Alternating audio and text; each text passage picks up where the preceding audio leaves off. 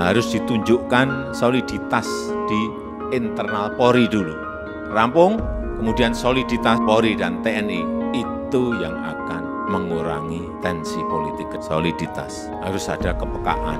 Posisi politik ini seperti apa sih? Karena saudara-saudara adalah pimpinan-pimpinan tinggi di wilayah masing-masing. Sense of politiknya juga harus ada. Tidak bermain politik tetapi mengerti masalah politik karena memang kita akan masuk dalam politik kalau dilihat kembali lagi kalau dilihat Polri solid dan bergandengan dengan TNI solid bolak-balik saya sampaikan saya memberikan jaminan stabilitas keamanan kita stabilitas politik kita pasti akan baik.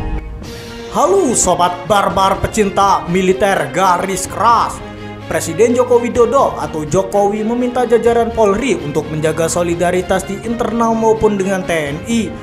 Mengingat saat ini sudah masuk tahun politik, ia menekankan pentingnya solidaritas TNI Polri untuk mengurangi tensi politik di masyarakat.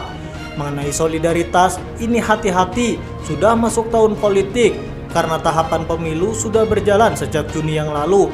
Harus ditunjukkan solidaritas di internal Polri dulu, kemudian solidaritas Polri dan TNI. Itu yang akan mengurangi tensi politik ke depan, ujar Jokowi saat memberikan pengarahan kepada Kapolda Kapolres pejabat utama Polri di Istana Negara Jakarta pada Jumat 14 Oktober 2022.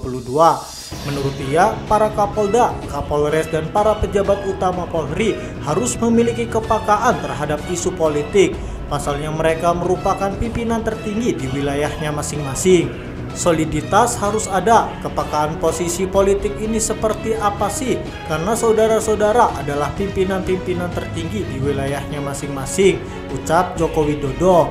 Selain itu, kata Jokowi, para anggota Polri harus paham dengan kondisi politik yang terjadi di tanah air. Namun, ia mengingatkan Polri untuk tidak masuk dalam politik praktis. Sense of politiknya juga harus ada, tidak bermain politik tetapi ngerti masalah politik karena kita akan masuk ke tahap tahun politik, jelas Jokowi. Ia meyakini stabilitas keamanan dan politik di Indonesia akan terjaga baik apabila Polri dan TNI solid serta bergandengan tangan. Jokowi menjamin tidak ada yang berani mengganggu stabilitas keamanan dan politik di Indonesia.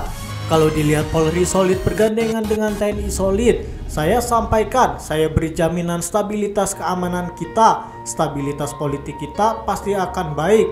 Nggak ada yang berani coba-coba mengganggu. Kalau coba-coba, tegas aja. Tutur Joko Widodo. Sebelumnya, Kapolri Listio Sigit Prabowo mengatakan Presiden Joko Widodo atau Jokowi meminta Polri menjaga stabilitas keamanan menjelang tahun politik 2024. Dalam hal ini Polri diminta menindak tegas hal-hal yang dapat memicu perpecahan dan polarisasi. Jenderal Listio menyampaikan, Presiden Jokowi meminta Polri memperkuat solidaritas dengan TNI. Jokowi ingin Polri TNI melakukan langkah-langkah mengawal kebijakan pemerintah apalagi kita menghadapi situasi tahun politik.